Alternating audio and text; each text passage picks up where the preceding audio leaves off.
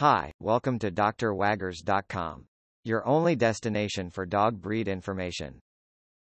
Today we will talk about Greater Swiss Mountain Dog breed. So let's get started. Greater Swiss Mountain originated from Switzerland. It was used for all-around working dog, herding cattle, and standing guard. It's very vigilant, territorial, and bold.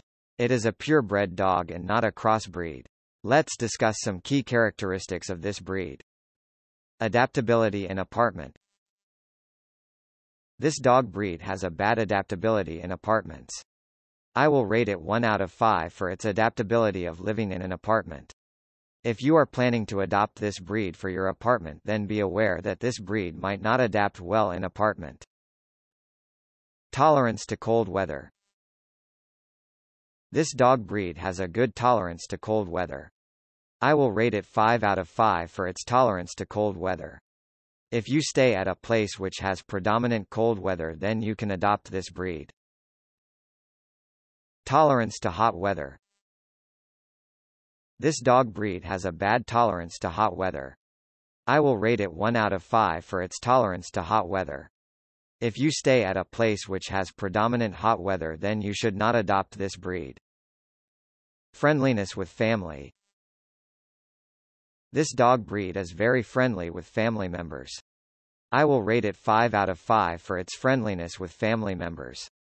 If you have young children or elderly family then you can adopt this breed. Friendliness with kids. This dog breed is very friendly with kids. I will rate it 5 out of 5 for its friendliness with kids. If you have young children in family then you can adopt this breed. Friendliness with strangers. This dog breed is moderately friendly with strangers. I will rate it 3 out of 5 for its friendliness with strangers. If you are looking for a guard dog then you should not adopt this breed. Ease of training.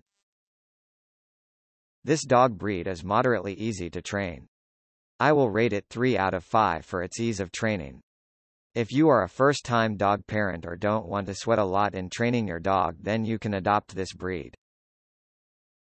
Exercise needs This dog breed has average exercise needs. I will rate it 3 out of 5 for its exercise needs. If you don't live in a big house or farm land and if you are not a very active dog parent then you can adopt this breed. Well, I hope you understand Greater Swiss Mountain Dog breed well now. Thanks for watching drwaggers.com video. You can visit our website to know more about dog breeds.